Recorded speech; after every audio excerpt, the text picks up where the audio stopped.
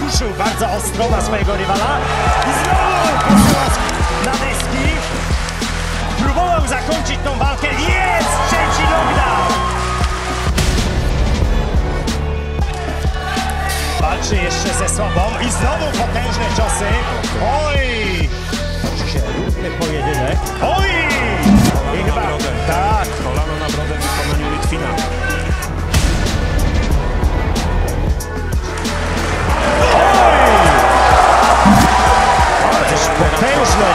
Kopnięcie.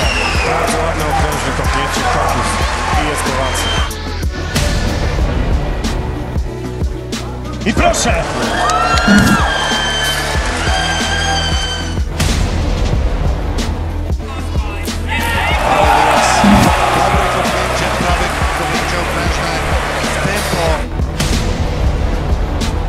Okrężne, jego głowy. I teraz bierze się znów do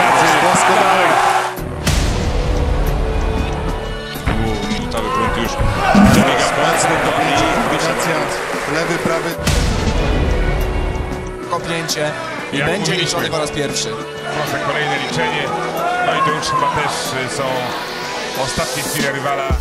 Zamknięty w narożniku lewy kaki, koniec e, tej rywalizacji. Trzeci raz e, wyliczony zostaje przeciwnik Tomasza Kibuka.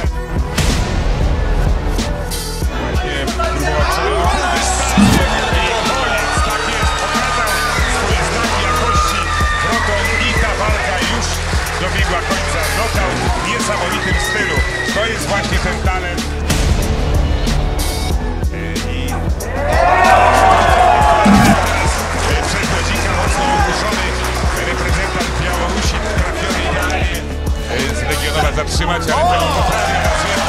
I mamy trzeci knockdown. Pokazał ten y, biały Tyson y, także swoją siłę.